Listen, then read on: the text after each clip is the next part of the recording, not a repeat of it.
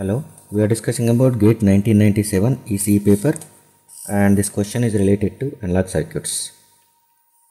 Look at the diagram. An IC 555 chip has been used to construct a pulse generator.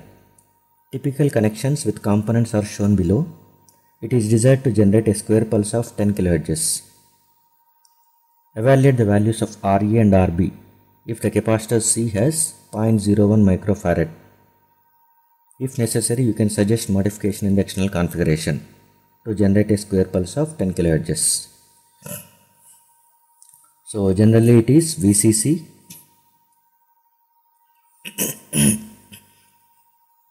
if you know the internal diagram and if you know the operation it is very easy.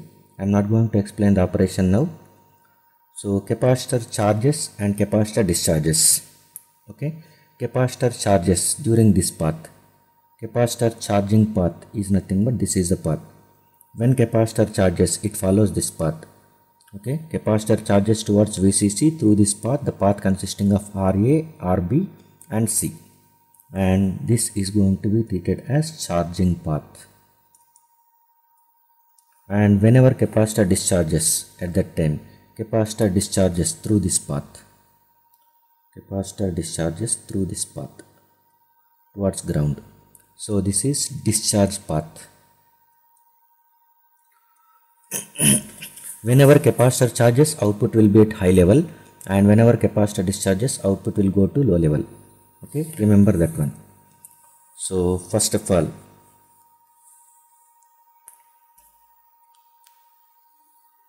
this is what time. And capacitor for example capacitor is charging. By that time capacitor charges then output is going to be at high level the charging time constant tau c. Charging time constant tau c is equal to.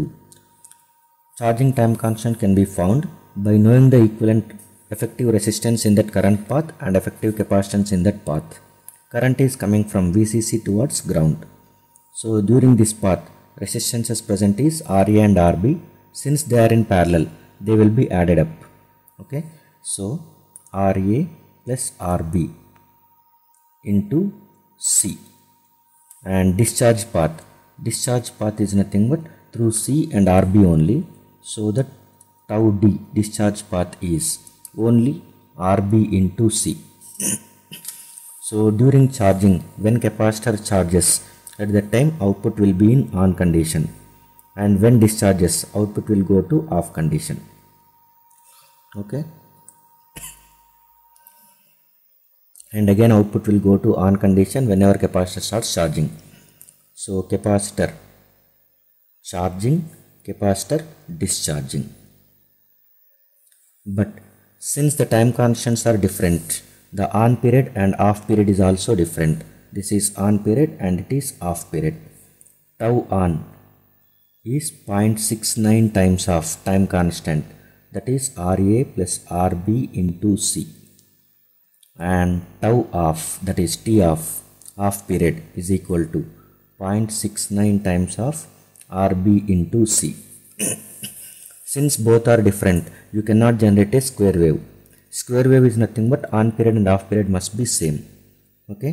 So that is nothing but duty cycle must be exactly 50% since tau on is greater than tau off so that duty cycle duty cycle is nothing but t on divided by t on plus t off. So it is greater than 50% so output is not a square wave not a square wave. So we must modify this circuit to get the square wave. Okay? So look at this one how to modify this circuit. Whenever we know that one capacitor is going to be charging. This is going to be the charging path. So since charging path is going to be larger compared to discharging time okay?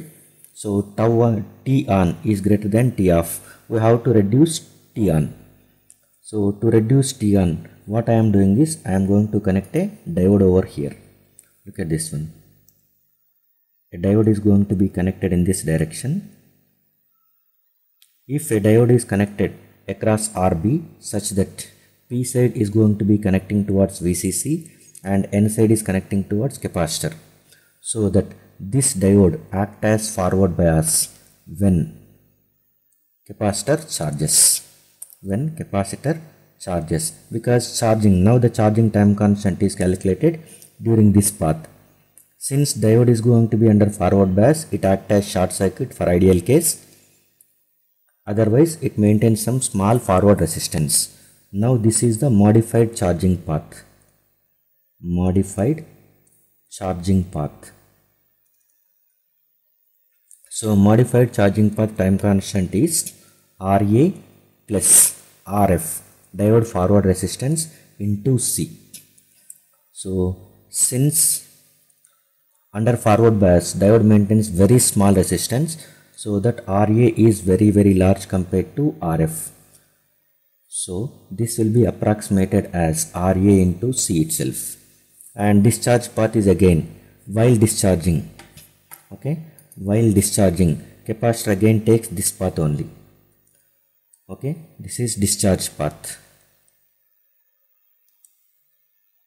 While discharge capacitor uh, this diode act as reverse bias. Diode act as reverse bias during capacitor discharge.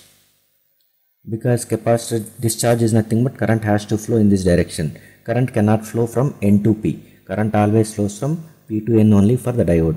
So diode act as reverse bias. So during discharging diode act as reverse bias. By the time rb will be in effect. So rb into c is going to be discharge path. Tau d is nothing but rb into c that is same as previous now charging time constant is ra into c if you choose if ra value is same as rb then we can say charging time constant is approximately equal to discharging time constant so that T on is equal to T off. T on is equal to T off.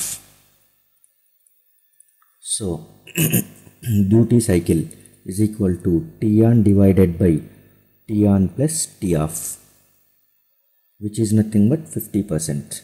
So that is square wave. So by modifying this circuit by placing extra diode across RB and making RA and RB having the same values you can generate a square wave. Now we are going to calculate RA and RB values. Okay.